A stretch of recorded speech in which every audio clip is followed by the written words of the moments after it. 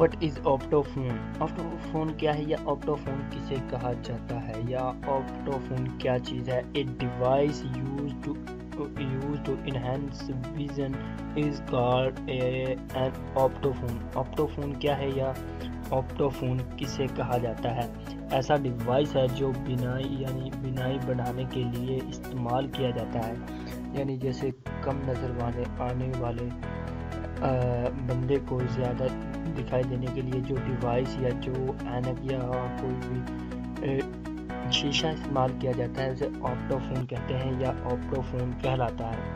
अगर आप हमारे चैनल पर न्यू हैं तो हमारे चैनल को ज़रूर सब्सक्राइब कीजिएगा, क्योंकि एजुकेशन से रिलेटेड आप हमारे चैनल से इन्फॉर्मेशन हासिल कर सकते हैं।